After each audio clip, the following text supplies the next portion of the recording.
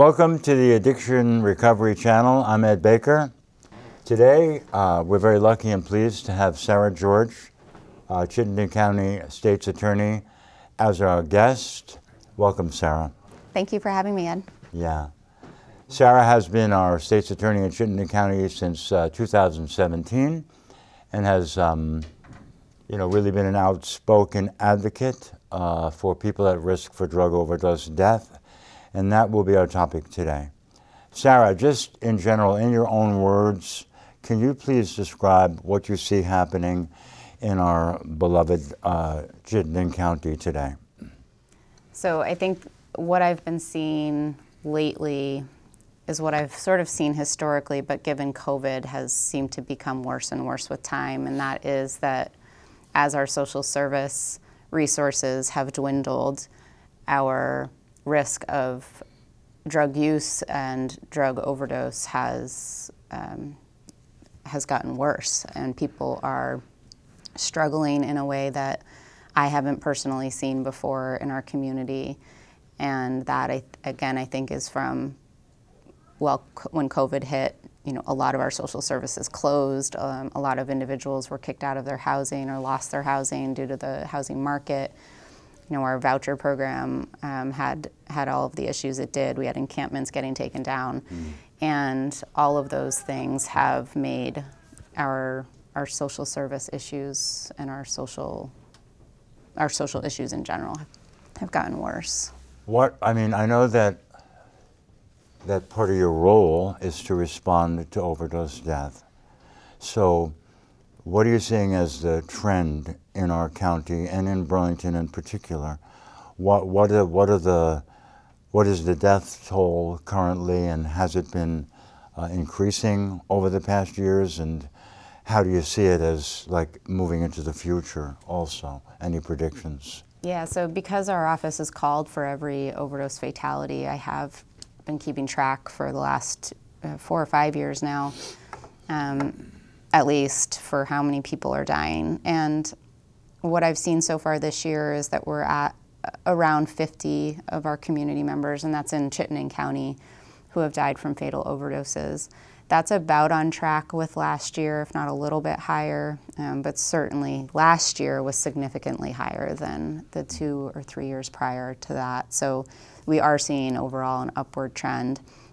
And we're also seeing that the places in which individuals are dying are are more and more sort of brutal and sad in that people are dying in cars and in the parks or in you know public spaces and public restrooms. Um, I think again, going back to how many more people we have without homes in our community means that those deaths are occurring in in really scary places.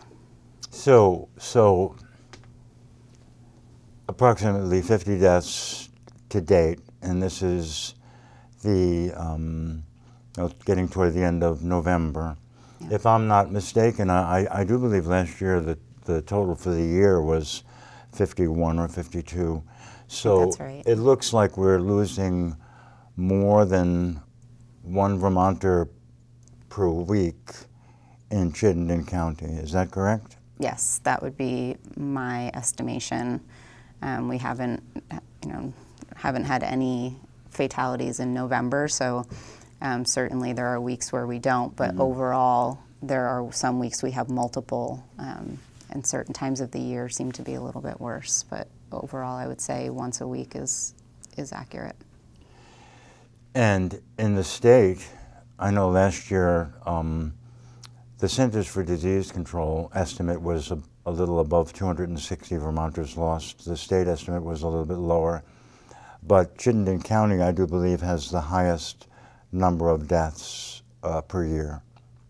That may be. I, I really only focus on Chittenden County mm -hmm. typically when, you know, mm -hmm. because that's my, that's my world. Um, but that would make sense, certainly given our populace, and we have over a third of the state's population. So I would be quite surprised if we didn't have more than the yeah. rest of the state. You know, let's let's just take a look at this uh, slide that we have here. Um, this is a Burlington Police Department overdose uh, response slide, and as you can see, obviously, I mean, it's so clear. The concentration of overdose responses and, and also overdose deaths is in Burlington, downtown uh, Burlington. I think that's a, a very poignant uh, visual. Do you have any comments on that?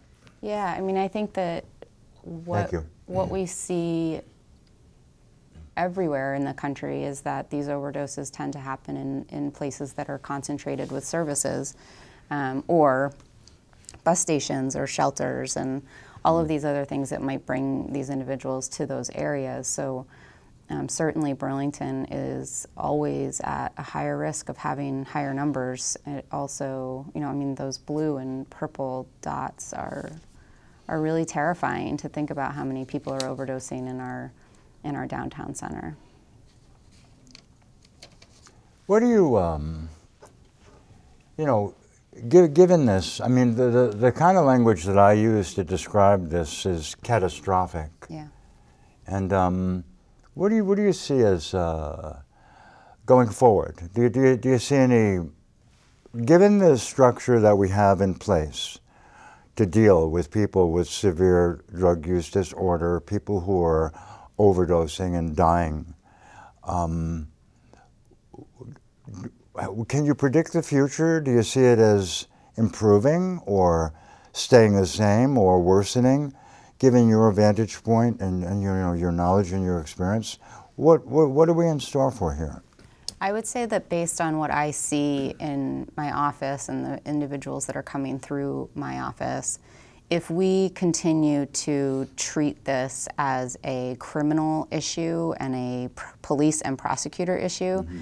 versus a public health issue, and we focus more on putting these individuals in jail versus giving them housing and providing them with housing and employment and services, this is only going to get worse. Um, but if we really take the time to spend those same resources or you know, the, the settlement money and other things that the state has access to, to actually giving these individuals um, support.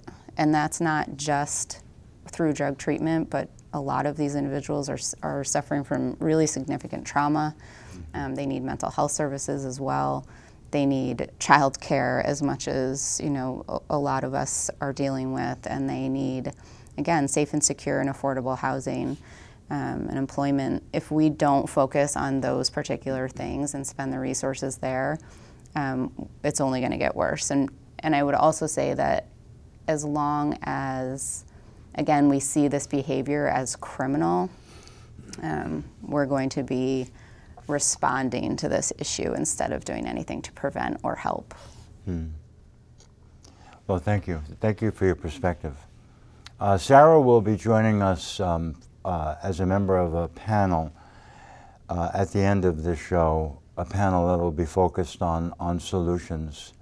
Um, for now, Sarah, is there anything that you would like to personally say directly to people out there in Chittenden County who are at high risk uh, for drug overdose and drug overdose death? Yeah, I mean, I, I really just want those individuals to know that I care about them, that I want them to survive, um, that we can't help them if they are no longer with us, and that I don't want to be responding to the scene of, of their death. Um, and if they are feeling like they are ready to not be in this situation anymore and want help, and then I would suggest that they go to Vermonters for Criminal Justice Reform and talk to those folks, or go to the hospital, or go to the methadone clinic. Um, go to anybody that they think will help them and start that conversation, and we will do what we can to help them get into some type of, of treatment. Yeah, thank you. Thank you so much. I appreciate the work you've done, and I, I look forward to supporting the work that, that you will do in the future, Sarah. Thank you, Ed. I really appreciate that. Okay.